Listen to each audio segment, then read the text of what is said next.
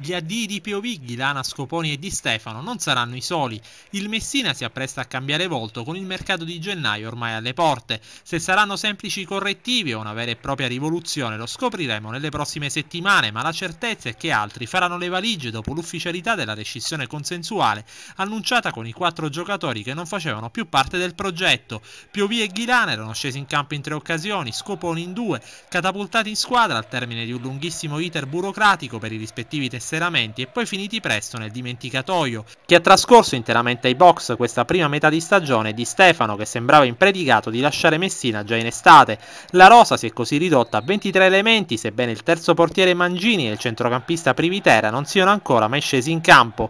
La riapertura delle liste che consentirà di fare operazioni tra i professionisti dal 3 gennaio 2014 sino al 31 dello stesso mese è la chiave di volta per cercare di rimettersi in carreggiata rimediando agli errori commessi in estate. La gara con l'Ischia del 5 gennaio è il primo atto di un girone di ritorno nel quale occorrerà decisamente cambiare marcia per cercare di agguantare uno degli otto posti che garantiscono l'accesso alla Lega Pro Unica ed evitare l'appendice di un pericoloso play-out che riguarda le classificate dal nono al dodicesimo posto.